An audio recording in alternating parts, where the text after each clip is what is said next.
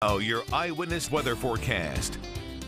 Well, good morning. A cooler start to our day today and a much cooler afternoon that's in store for us as we get a nice dose of reality as we go through the rest of this week, this weekend, and even into early next week. More fall-like weather definitely returning and the cloud cover still lingering right now. We really lost most, if not all, of the rain, maybe just a pocket of drizzle left over the rest of this morning, but the clouds are going to be tough to break. They will gradually give way to some clearing, but the bigger story today is the temperature. The wind, remember, shifting directions. Now it's coming from the north, so that would be the cooler air we've been talking about for the last couple of days, and we're going to compare it to this time yesterday in just a second, but look at numbers right now. Hazleton, we're at 43, Pottsville 47, Williamsport at 48. Most of us hit that high temperature earlier this morning. And compare it to this time yesterday, temperatures are running a good 15, 20, even 25 degrees lower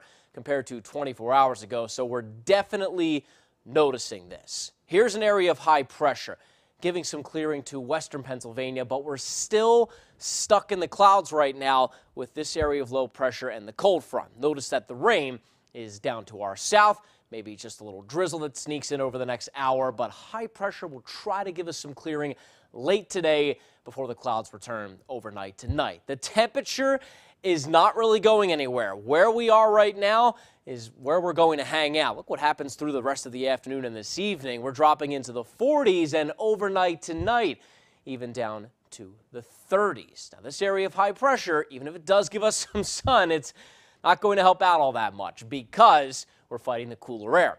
That's falling back into place. Cold front will approach from the west tomorrow. Then we actually have the remnants of Eta just off the coast tomorrow morning. Very weak remnants, so mostly what we get is cloud cover and a passing shower tomorrow morning. Moving into the afternoon, clouds and sunshine will mix. Cooler air continues to come back in for Saturday, but also another area of high pressure comes in as well. So that'll give us good sunshine Saturday. Sunday, the clouds quickly return, as will a nice little round of rain Sunday afternoon. Then behind this is much colder air for early next week. Let me go ahead and show you that. As we go through the rest of today, obviously the cooler air is working its way in, going into the weekend. Here's that first shot of cool, more fall-like weather. Watch what happens by next week, though. Big blast of Arctic air comes in. That'll happen Monday into Tuesday. With that, as the colder air comes in, even some lake effect snow showers we'll have to talk about. But today, 54 for the high in your eyewitness weather forecast. Most of us did that this morning. Some clearing to talk about later on today. Then overnight tonight, much colder at 36, 56 tomorrow. Similar to today, we'll get some sunshine in the afternoon. Saturday, plenty of sun. We're near 50 and some spots will stay in the 40s.